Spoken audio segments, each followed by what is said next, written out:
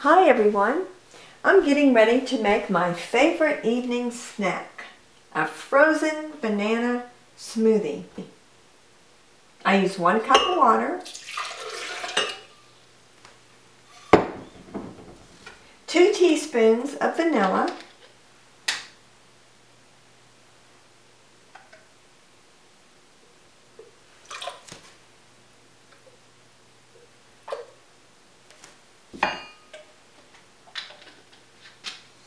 and about two frozen bananas.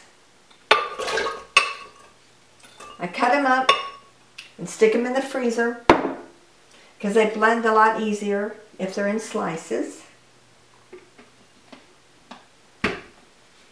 And then I use the ice crush speed on the blender.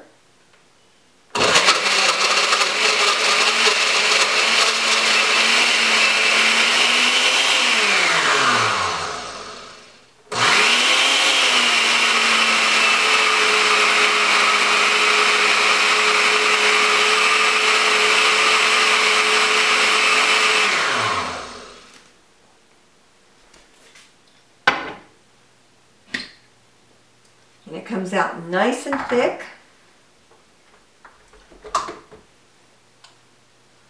Makes a delicious, very thick smoothie.